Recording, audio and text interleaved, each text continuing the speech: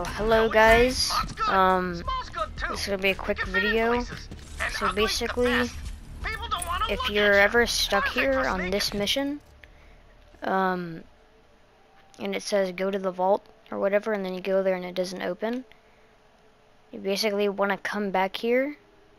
Or, um, if you picked up the slaughter mission right here while coming here for the first time and the thing doesn't blow up, just teleport to Sanctuary or something, then come back, refight all the people, and then you should get a voice, a voice line by uh, Captain Traunt. I'll blow this up, and then go back right here, and then do like you normally would, and then bam, you fixed it.